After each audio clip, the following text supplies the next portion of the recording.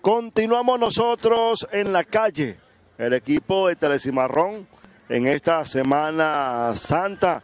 Ya hoy es sábado de gloria, sábado 4 de abril, donde pues ya la gente está eh, retornando, la gran mayoría, hacia sus hogares, pero aquí en, en, en Playa Cuchivano, observamos eh, gran cantidad de personas, bañistas, pues disfrutando de este mar del municipio Brión y Guerote. Todavía la Corporación de Miranda sigue recreando a todos los presentes con bailoterapia, juegos. Eh, también observamos allí la limpieza de la playa con la cuadrilla de mantenimiento.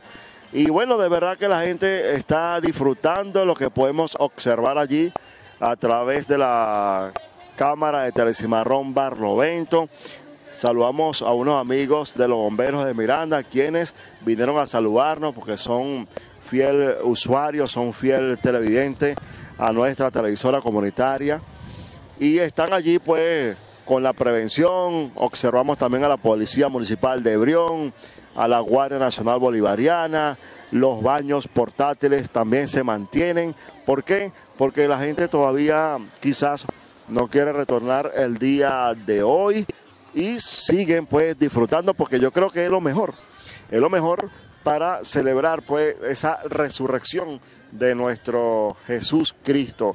Es cuando debemos celebrar con mayor ahínco porque ha resucitado el Hijo de Dios, aquel hombre que murió por nosotros. Esperamos que esta Semana Santa, esta Semana Mayor, nos haya dejado eh, muchas reflexiones para nosotros pues comenzar a practicar los verdaderos valores humanistas.